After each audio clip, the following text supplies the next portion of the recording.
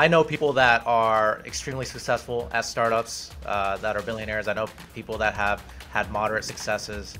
Um, you know, I've, I've been in startups for the last decade, so I've met quite a lot of people. And I think I think one of the things that um, maybe the general public isn't that aware of is a lot of folks that are, are that are billionaires that make it really big actually had minor successes before or have come from families that are actually quite well off. My name is Kevin David, and if you want real financial freedom for yourselves and for your loved ones today, then the time is now. And I will be there to help you every step of the way. What is up, guys, and welcome back to another exciting episode of the Kevin David Experience, your favorite podcast or soon to be favorite podcast. Today we have a very special guest joining us. But very quick, I wanted to give a big shout out to all of you guys who are leaving us reviews on iTunes and leaving comments and engaging on the YouTube channel where we just actually started launching full episodes and also KDE clips. And so today we have Jerry uh, Shannon joining us from Puerto Rico. Um, and so, Jerry, the first question that we ask everybody on the podcast is to describe your entrepreneurial journey all the way up until right now in 60 seconds or less. Yeah, thanks for having me. Uh, so I, I, started my entrepreneurial journey about a decade ago. Um, I actually created the first fantasy football app for mobile phones. This is back when the iPhone and Androids are still brand spanking new. I uh, didn't really know what I was doing but somehow got that acquired by Yahoo and it became Yahoo Fantasy Football. So it's kind of cool to have an app out there that people have heard of. Uh, ever since then, been doing startups with the same crew, um, and now I am the co-founder of Welcome, and we help companies put on virtual events, which is a big thing now. Uh, now with COVID, so that's that's awesome. So, were you were you excited when you saw like the DraftKings type companies come out? Because that, that happened quite a long time after you founded yours, right? Yeah, I mean, it was really interesting. That was a, a fascinating time to be in fantasy sports just because the all the legal stuff was sort of gray. Um, one of my biggest projects once I joined Yahoo was actually bringing that sort of daily fantasy style games uh, to the Yahoo platform. So yeah, it was an exciting time. Now DraftKings is uh, is a huge company, so it's pretty stoked to, to see him succeed there. Yeah, that's that's awesome. What do you what do you think the difference is between um, you know a company that goes on to become like a big public company like that, or something that you know might get acquired like earlier on? Did, did you ever like think back about you know watching DraftKings kind of turn into what it became and and think uh, you know what the difference was? That's a really good question. I mean, a lot of it, I think, is out of your control as an entrepreneur, right? Like a lot of things have to go right, especially with something like DraftKings, FanDuel. Um, the biggest risk there was legal, right? Like nobody knew whether or not they would get legalized. And, and now, certainly, all the laws have gone in their favor, especially with all the sports gambling laws and, and things like that. So, at the end of the day, when I think about the difference between uh, what I did and what they did, they just took a much bigger risk than I did. Right. right? Yeah. Um, I, I made a mobile app for fantasy sports. Uh, it was a pretty obvious idea, at least to me at the time, right? But I always knew the the upside wasn't going to be quite as high. But that was okay. I mean, that was my first experience starting a company. Mm-hmm. Uh, learned a lot, but this time around, I'm really swinging for the fences. Yeah, and, and it's interesting too because I was I was talking to another uh, guest recently, and like we were kind of talking about like what the difference is between like a millionaire or like a multimillionaire and a billionaire, and and kind of what we settled on and what I thought you know what I think is interesting is generally the people that go on to become billionaires, and I'm not saying you know everyone should try to become a billionaire. It's certainly not for everyone, but the difference that we were kind of uh, agreed on. was that billionaires go like all in on themselves. Like they like just full risk 100% like you know elon musk has that famous thing where he had to borrow money for rent because he spent all of his money on you know tesla and spacex that he made from his, his previous acquisition. And so like wh- what is your opinion uh, on you know taking uh, taking risk that extreme um, do you think that it's ever worth it? Are you doing it now versus you know kind of taking a more reasonable approach, so to speak? Oh man, I could talk about this for a long time. I, I have thought about this for quite uh, quite a while actually. Um, you know, I, I know people that are extremely successful at startups uh, that are billionaires. I know people that have had moderate successes. Um, you know, I've, I've been in startups for the last decade, so I've met quite a lot of people. And I think I think one of the things that um, maybe the general public isn't that aware of is a lot of folks that are, are that are billionaires that make it really big actually had minor successes before or have come from families that are actually quite well off right so you have a good launching pad where you can afford to take more risk now if you're you know somebody that comes from absolutely nothing it's really tough to take that type of financial risk that can have those sort of outsized returns. Um, so I think it's really dependent on your life situation. Like for me, I didn't have that, you know, I didn't have that trust fund, or I didn't, I didn't have that, uh, uh, that, that background of having another exit to kind of lean back on. So I wasn't really able to make that type of uh, risky move at that point in my life. Now that I have an exit under my belt, um, you know, I'm not like set for life or anything, but I'm, I'm doing okay. I can afford to take uh, more risk with my next move, right? So I think it's very life dependent. Um, but I do agree in general that if the the bigger risk that you take, the the more reward there could potentially be for sure. Yeah, and when and we when we talk about like taking risk, what what do you think that that actually like means? Like that they're literally taking more money of their their own money and investing it into their venture? to me, in the context of startups, um, it's interesting because a for a startup to succeed, it kind of has to seem like a bad idea, right? And what I mean by that is if it's an obvious idea to everyone, a lot of people would do it, right? But if you look at a lot of the success stories like an Airbnb or an Uber or a Coinbase, when they first started, a lot of people thought they were terrible ideas. I mean, there's a famous story of of uh, Brian Chesky from Airbnb uh, going to tons of investors and getting laughed out of the room, right? Like, who would want to rent uh, a room from a random stranger? It just seemed like the craziest idea at the time. Uh, so, to me, a risk is being able to follow your conviction even in the face of uh, ridicule, right? Um, and I think a lot of the the biggest companies, looking back, weren't obvious ideas at the time. Um, right. And it takes, a, I think it takes a lot uh, to be able to do that. And so for for your current uh, venture, right? Welcome. You you guys are um, you, you do virtual events, right? And then you know there are other competitors out there that you know have raised like an ungodly amount of money, like Hopin, and yeah. You know I think they raised six hundred million dollars or something like insane. Like what what is your uh, what is your opinion on, on that, right? Because I mean you know, to play devil's advocate, you might say that, you know, a lot of people have that kind of virtual event idea right after, you know, us talking about a non obvious idea. And maybe you guys started before that, or, or maybe, you know, there's enough of a differentiator. Um, but like, what's, what's your opinion on, you know, the other people in the space and having raised, you know, almost a billion dollars and things like that? Yeah, I mean, it's it's certainly a, a, tough competitor, right? Because they have such a large war chest. I mean, speaking of Hopin in particular, um, but you know, I've I've kind of seen this story play out many times. There's like a new market. There's a lot of people that get uh, that get funding. And the interesting thing is, the first mover or the, the the the first company that receives a lion's share of the funding isn't always the winner, right? So I'll give you a couple of examples.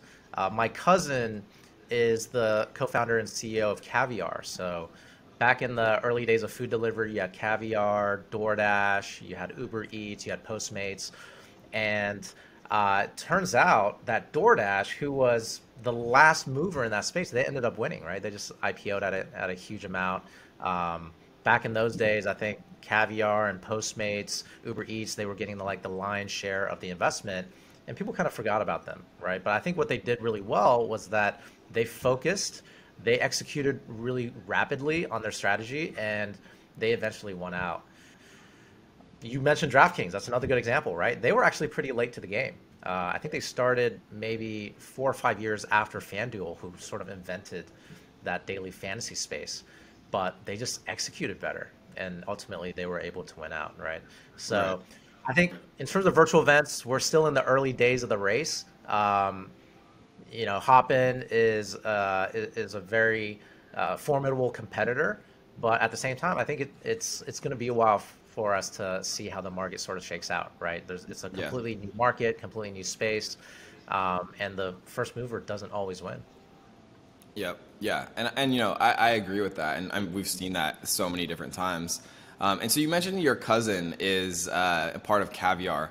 Um, do you think that that entrepreneur uh, like entrepreneurialism is a genetic thing, or do you think it's learned? Do you think that you know it's common in your family because you know you did it, or or you know someone before you did it? How how do you think that that actually happens? That's a good question. I don't think it's genetic, but I do think that who you hang around with influences your decision whether or not to become an entrepreneur, right? Um, for me personally, when I first started, uh, I mean, I was in Silicon Valley, first of all. So there was just a lot of people that wanted to do startups. It was seen as a normal thing. Whereas um, if you look at, say, Columbus, Ohio, which is where I grew up, right, that wasn't really that common. Um, so the, I, I guess the social consequences of quitting a you know, well-paying, stable job and doing your own company was just a lot less in Silicon Valley.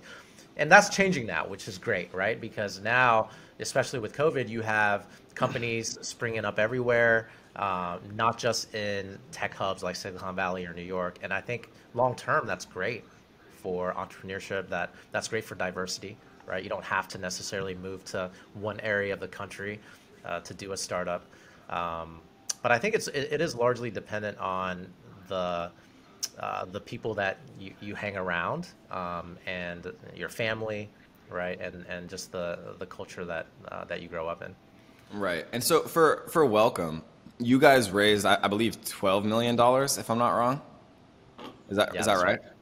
So, eh, can you talk us through kind of the, the timeline of that? Because I mean, we have a lot of people who listen, um, you know, who, who maybe want to start their company, who would, you know, maybe have like an idea or something like that. Like, how did that progress? Did you guys already have like a, an MVP, like a, a product built? Um, did you already have paying customers? Like, what was the, the kind of timeline of, of how that played out? Yeah, so we started um, on the idea last April. So I, I, actually just looked recently. It was because it was the one year anniversary of this, but our first line of code was written on April 7th, 2020. Right. I love that. And, uh, you know, one of the things early on was like, look, we need to, we need to set a launch date because if we don't set a launch date, we could work on this forever. Because right. once you get into a project, like you want to add this feature or that feature, and that was something we learned from just doing tons of startups and never really launching, right? So we set a hard date. We said, okay, in mid July, we're going to launch this thing. And whatever we don't get done until then, like, it, it's totally fine. Um, so we launched in mid July. We had a few early customers, and the traction for the product was just incredible from, from day one. Uh, we had so many people that wanted to use it just because it was really different than what was out there on the market. And the reason we were able to raise that much money early on uh, and essentially skip the seed round and go straight to a Series A was because of our early traction, right? And investors look at a bunch of things, but the biggest thing that they look at is traction because for them, if they can see a little bit of traction, they can sort of extrapolate that out uh, to a large value.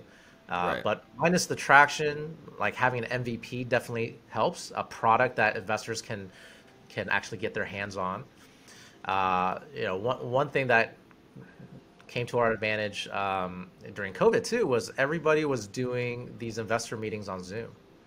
Right back in the day, you would have to go to Sand Hill Road. You drive there, go into these big fancy offices for these VCs, right? And you're, you're totally on their turf, right? And they know it. They they uh, they're able to take advantage of that. Uh, and so for us, we flipped it. We're like, look, we have an amazing video platform. So why don't we take investors from Zoom onto Welcome and essentially have a home court advantage there, right? And so that was a, that was a big part of our of our uh, fundraising strategy too was to get them onto the product. But because they're in these Zoom meetings all day, we can literally show them what the difference feels like on Welcome. Um, and I mean, they were they were just psyched about being able to get their hands on on a different experience. Because Zoom I love that too. It, that's so smart because, like, you know, the, I think a, to a to a layperson or just someone who hasn't used, you know, that type of uh, product, you know, I think an obvious question would be like, what's the difference between just like Zoom and like a virtual meeting um, sort of sort of platform? And so, actually having it on the platform is is such a smart idea. You talked about traction though. what what is like in, in a very microscopic way, right? And I, I I know it's probably different for each product, but like what is traction? Like, what specific things are investors looking for um, that like a beginning entrepreneur might be able to try to optimize for? Yeah, I mean, uh, so it really depends on the type of business that you're running, right? If you're a B2C startup, they're probably looking for user growth. All right, so one of the things that they teach you when you go into Y Combinator, uh, which is accelerator that we did, was you want to make sure that you set your metric and that you figure out ways to grow it consistently week over week, right? And and uh, so if you can grow at 10% per week, you can start off with a very small user base, but showing that traction and that growth is going to be what allows investors to uh, sort of see this becoming a really, really big idea. Because at, right. at the end, end of the day, the biggest difference between a startup and just a small business is your growth rate. That's it, right? If you're fast growing, you're a startup, you're investable. Uh, if you're growing at sort of a linear pace, you're really not. Um, so users, that's a big one for uh, B2B startups like ours. Um, revenue, right? Uh, uh, whether it's annual recurring revenue or the amount of contracts that you have. Uh, if you're not making revenue, then maybe the amount of uh, pilots that you have. Something to show that there's a there's a demand for your product. Obviously, the best is is revenue. Um, for us, we're pretty audacious because we charge a lot of money up front, right? And and one of the reasons we're able to do that, I think, is because nobody really knew what a good virtual event experience was, and because it's a new market we're able to say, look, this is our idea of a great virtual event. We think they should look less like Zoom meetings and more like a heavily produced television show. And we'll give you the tools to be able to do that. So it looks like your virtual events on CNN, right? And that really struck a chord with the businesses that we were talking to. Um, and they were willing to pay a lot of money for our product right out the gate. Right. And, what, and I love that. So one one thing that I'm I'm curious about, right? Because I mean, when you have like the you know David versus Goliath sort of thing, and maybe it's not like that, but you know Hopin's raised so much money that they're obviously like so uh, they're a daunting competitor. How tempting is it to like look at what they're doing and integrate that into what you're doing versus like you know because it would probably be naive to ignore them. But like, is it tempting to kind of you know say, oh well, Hopin is doing this, so maybe we should do the same thing, versus like being entirely you know yourselves and, and innovative like how, how much does that play if at all how much does that play into kind of your experience i think it's um, a very dangerous trap to fall into to care too much about your competitors and that's because the majority of startups don't actually get killed by competitors. They get killed by, uh, you know, common quote: they're killed by suicide, not homicide, right? Um, and I think the reason is because the biggest advantage you have at a startup is speed. So if you're trying to catch up to where somebody already is, it's always going to be a losing proposition because you don't know the insights that they use to get to that end point, right? Yep. And what with especially with a competitor like Hopin, which is another startup, right? They're they're skating somewhere else, so it's sort of pointless to see what they're doing and, and try to copy it. Um, one one thing that's interesting with with a competitor like Hopin too is they're more like a big company than a startup at this point, just because they've gr- grown so fast and they're so big, yeah. right? And I've worked at large companies, I've done startups. The difference in speed between a large company and a startup is several orders of magnitude. I mean, it's crazy. And so for us, the key to our success really is to be able to have a vision of the future and to move as quickly as we can toward that future. Um, I mean, it doesn't mean we can't take inspiration from other companies that are in the space, but you know, by and large, I think we have a unique take uh, on the virtual event market um, yeah. and it's not really something that our competitors are trying to do. And they could be right, you know, but at, at, the, at the end of the day, um, we think that that we have a chance to really win the space. So, uh, and so to answer, one, not not too one, much. We don't we don't talk to our, about our competitors that much. Yeah, no, I think that I think that that's great. I, I am curious though. One of the last questions I'll, I'll ask before we, we end the podcast for today. Ha, like, so Henry Ford has a, a famous quote, and he said, you know, if you asked your customers what they wanted, they would have said a faster horse, right? And so, like, but the other side of that coin is you know you have to talk to your customers to, to see what they want like from your product right so how important is it to talk to customers to kind of get insight about what they want out of a product versus like you know kind of giving them things they may not already they may not know they even want yet yeah so i think this really depends on the phase of product development um, that you're currently in when we were first conceiving the idea of welcome, right? We didn't have a product yet. So what we did was because our CEO is a really great designer, we took all of the input from the customers that we were talking to and we created this really high fidelity prototype in a design tool called Figma. And we literally showed it to them. We said, look, this is what we're thinking about building. What do you think? Right? So we literally showed, to use your analogy, we showed them that car um, and they were able to give us feedback on that. Now that we have a product and it's in the market, we can't all of a sudden say, "Hey, what do you want? We'll create a completely new product for you." Right? It doesn't really work that way. So it's a, a lot more iterative at our stage. But that zero to one stage, as you described it, is the funnest for me because it's a it's a blue ocean, right? It, literally, the product could be anything, and the real skill I think in being an entrepreneur is to do exactly what you mentioned: is to take the customer pain points and create a solution around that that's not necessarily based on something that other people are doing, uh, but based on your creativity, right? And that's exactly what we did. We heard our customers wanted better production value, they wanted more engagement, and we're like, huh, I wonder what would it would be like if virtual events felt like TV shows. I love right? that. And, and at that point, like no nobody really created something like that, so we were able to start from scratch and create a product that you know to this day, and nobody else has managed to duplicate. I love it. So the last question I'll ask you is if you could go back in time and talk to 18 year old Jerry, but you only had enough time to tell him one thing, what would you say to him?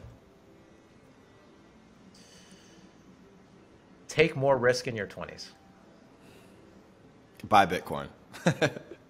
and buy Bitcoin, yeah. uh, I love it, man. Well, thank you so much for, for coming on. Um, if people want to learn more uh, about you and, and, welcome or the things you do, or if you enjoy having people reach out, uh, what's, what's the best way to do that? Yeah, so feel free to go to our website, experiencewelcome.com. Uh, you can book a demo if you're interested in checking it out. Uh, we have plenty of resources there on how to throw great virtual events, um, and that's the best way to reach out to us. Awesome. Well, thank you so much for coming on, Jerry. We really appreciate your time. Yeah, thanks for having me, Kevin. Cool. Thanks, man. I appreciate it.